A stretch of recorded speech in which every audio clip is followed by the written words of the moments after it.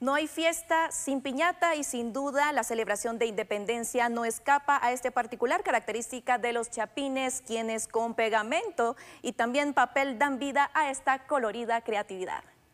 La creatividad de los guatemaltecos no se hizo esperar este 15 de septiembre y es que hoy nos encontramos ubicados en la zona 1 capitalina en donde las personas han decidido comercializar piñatas de quetzales y otros símbolos patrios. Precisamente estamos viendo algunas de las creaciones precisamente de estos guatemaltecos.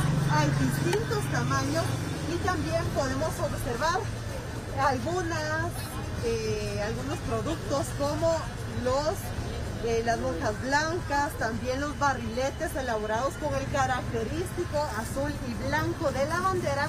Y es bastante importante resaltar que hay personas que están viniendo a adquirir estos productos para celebrar la independencia en su hogar tomando en cuenta la actual pandemia. Estamos precisamente con una de las personas encargadas para tener todos los detalles acerca de este tipo de eh, productos que están realizando. ¿Qué tal si podría comentarnos primero acerca de lo que ustedes están vendiendo en este lugar. Estamos viendo varios símbolos patrios, ¿entre cuáles? Claro, aquí se le ofrece los que son los texales, los barriletes, estilo de la bandera y también los que son los y una ceiba. Las ceibas también se las ofrecemos. Y sí han estado viniendo a buscar gran variedad porque los utilizan más que todo para ahorita de los estudios, sobre lo del 15 de septiembre y aquí estamos nosotros para servir.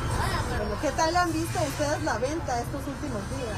Pues ha estado movidita, sí se vende, porque como, como les calco, se vienen por lo de las tareas, vienen a buscar texales, monjas blancas, ceibas, marimbas. Acá estamos viendo entonces estos símbolos patrios que caracterizan cada aniversario de independencia y sobre todo este bicentenario que estamos viviendo en 2021.